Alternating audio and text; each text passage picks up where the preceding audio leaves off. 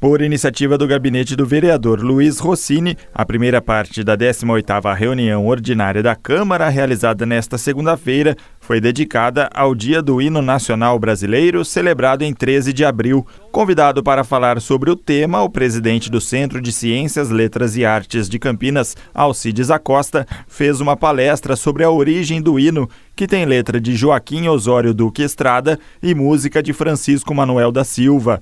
Para o vereador Rossini, o hino é um símbolo do país que deve ser valorizado. A ideia o, do, do hino é, como foi dito aqui pelo professor Alcides Acosta, é elevar, né, é glorificar, é valorizar aquilo que é símbolo do país. Né? Nas letras, o que a gente procura estimular é a importância do nosso Brasil enquanto nação, importante do nosso povo, né?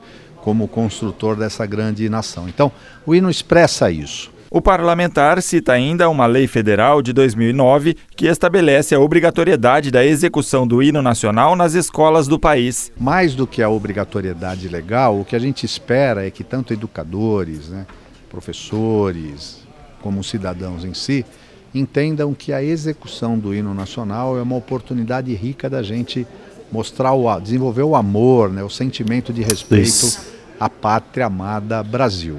Na opinião do vereador Luiz Rossini, a primeira parte da reunião ordinária cumpriu o seu objetivo. A ideia dessa sessão era exatamente isso: provocar essa reflexão, essa discussão e a gente perceber né, que nós vivemos num país maravilhoso. O hino é o símbolo desse país. Assim, respeitar o hino significa respeitar tudo que esse país tem de bom.